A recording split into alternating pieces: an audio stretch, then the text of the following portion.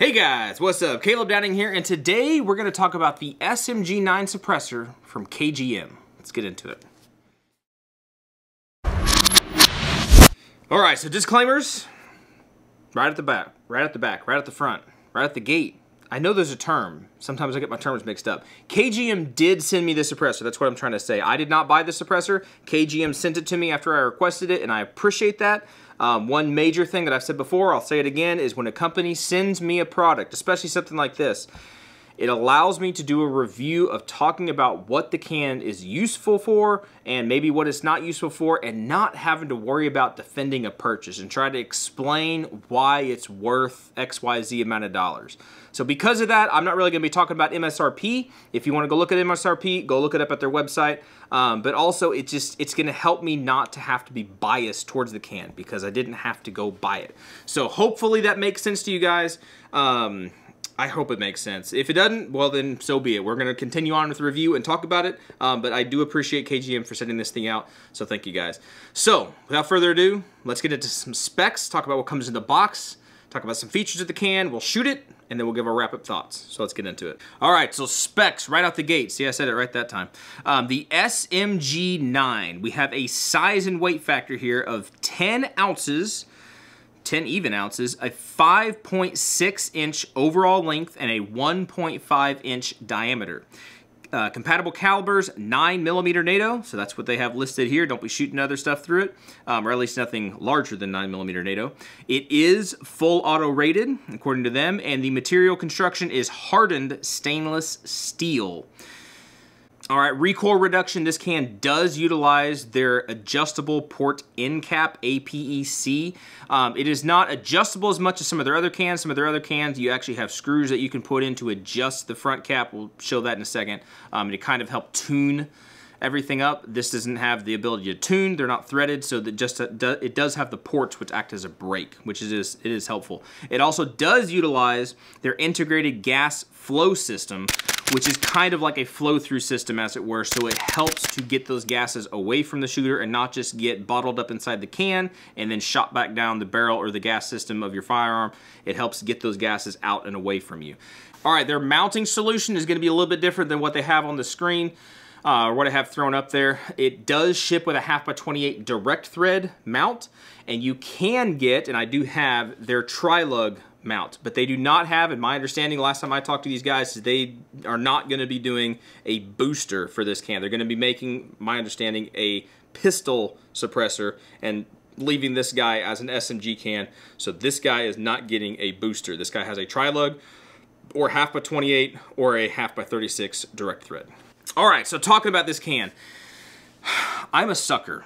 I really am a sucker for a good 9 millimeter can. I think 9 millimeter I think 40 is a really cool round to suppress. I think it's an unsung hero. But other than that, 9mm is definitely going to be cheaper. It's just so fun to shoot a very well suppressed 9mm host, right? It's just it's just it's just nice. It's just nice. And this can is a very heavy built can. I mean, this guy is made out of stainless steel or hardened stainless steel. This is not your lightweight little can. You could go to town on this guy. It says it's full auto rated. I don't have a full auto gun right now. Um, but I mean, I, I would totally believe it. I would totally believe it. It is beefy, but it's not that big of a can. If you compare this guy to a lot of other 9mm suppressors out there, you have a lot of them that are a lot longer, right? Like especially pistol cans. Pistol cans for 9mm, for whatever reason, they generally are like nine inches long, right? Seven to nine inches long. This guy is like five and a half inches, just, just over five and a half inches long. It is a little heavy, but you got to keep in mind, keep it in its wheelhouse. Is like that's what I like to preach about. Um, keep it in its wheelhouse. This is a PCC can. So there's a reason they decided not to go ahead and, and build a booster for this because they want to utilize this guy for PCCs. And as a PCC can, this guy does very, very well, in my opinion. Um, like I said earlier, this guy does come with, it's about the only thing he comes with. You don't get a, a bag and a bunch of other stuff. All you get in the box is the box itself, the can, and your direct thread half by 28. But you can get, and they did send me, their, boot, uh, not booster, their tri-lug, right? So this is a tri-lug, and this mounting thread pattern is different than any other thread pattern that I've ever had. I can't find it anywhere, and from what I understand talking to them, it is proprietary. It's, it's their own thread mount. You're not, or thread pattern. You're not going to be able to use their mounts on other cans or other cans mounts on these cans. So you're kind of tied into that. However, this is, again, think remembering that this is a PCC can, there's not a whole lot of options out there that I'm aware of for like QD systems for pistol caliber cans, right? Most of them are going to be direct thread or they're going to be tri-lug. And they have tri-lug and they have direct thread. So they kind of have you covered. It's not that big a deal to me that this isn't like hub compatible or something like that since they do offer everything. And speaking of keeping things in-house and making their own stuff, if you can see the quality of this guy, I know the lighting's not the best. I need to change my lighting up a little bit. Um, but the quality of this guy, it is... It, it looks classy, in my opinion. That's what I'm trying to say. Everything lines up properly. It looks nice. And as we're going to see here in a second, it performs very well, in my opinion. It performs very well. So without further ado, let's go ahead and do that. Let's go ahead and shoot this guy. Let's check it out. See how it sounds on a couple different hosts, and then we'll come back here and give our wrap-up thoughts.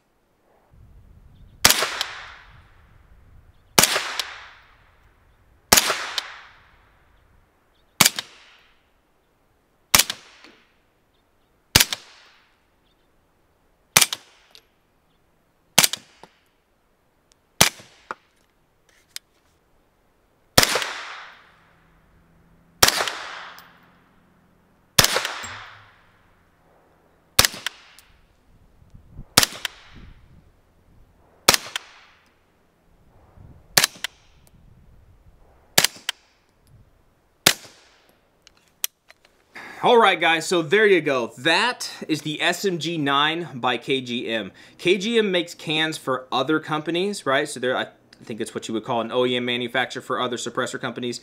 And it shows. It shows because they know what they're doing. They know how to make a good quality can.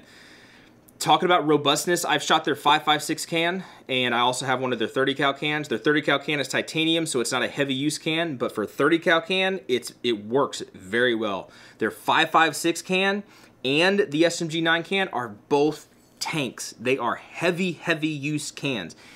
You, if you're buying these cans, you're probably not worried about being the most lightweight, you know, system out there. However, I almost said lightweight and compact. These are compact.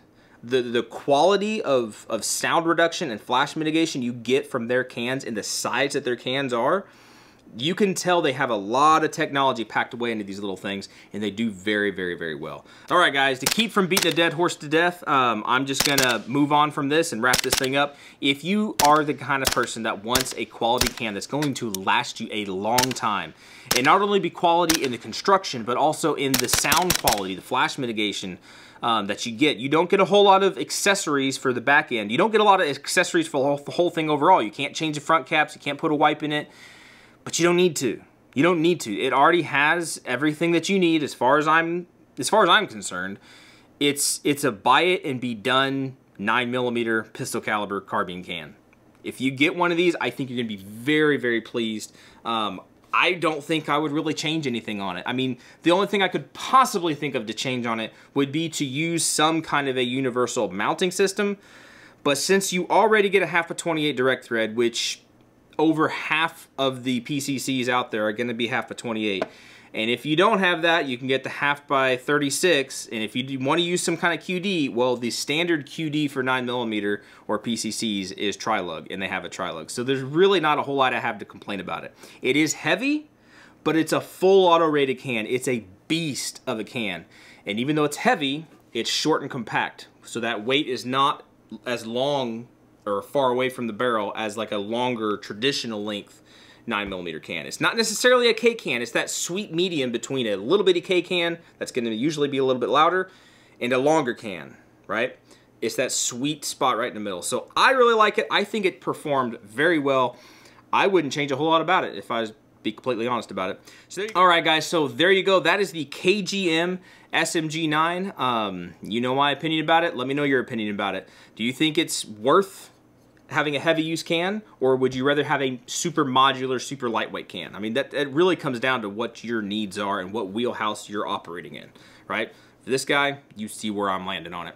That's it. You guys be good to be safe. I appreciate you guys watching, subscribing, and everything. If you got questions, let me know. Um, if I can't answer them for you, I will try to point you in the direction of somebody that can. Thank you, KGM, for sending these cans out. I appreciate it. Hopefully, we'll catch you guys in the next video. See ya.